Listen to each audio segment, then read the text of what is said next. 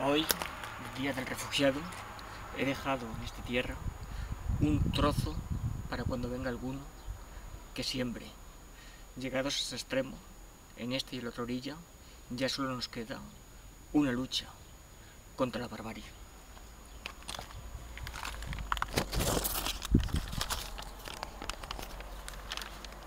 Nuestros ojos y nuestra voz quieren ser testigos de su conciencia.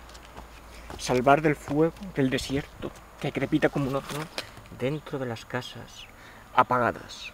Queremos ensanchar los horizontes del futuro, abrir los mares, cambiar aviones por abejas y ruinas por huertas. Un cielo azul sembrado de golondrinas. Acoger en esta tierra que fue un día mar y volverá a serlo con nosotros si se hunde nuestra conciencia en la barbarie.